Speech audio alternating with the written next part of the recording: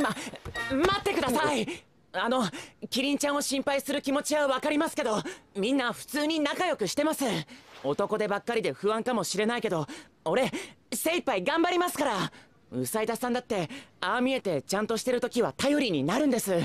上谷だって本当にすごくいいやつで。だからあの俺たちのこと信じてください。わかった。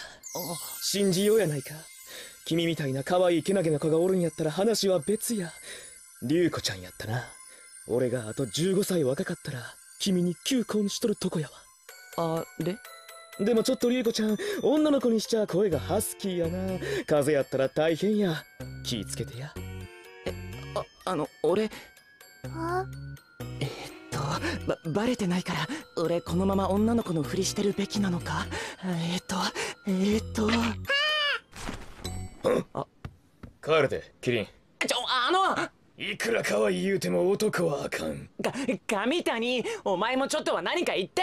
あおいおっさん。そんなに帰りたいならてめえ一人で帰れ。うぜえ。なんや。女の子がそんな冷たい物言い。俺があと15歳若かったら求婚しとるところやで。クールビューティーやな。お前絶対頭おかしいだろ。えー、なんで俺だけバレたの？熱い。お前も男なんか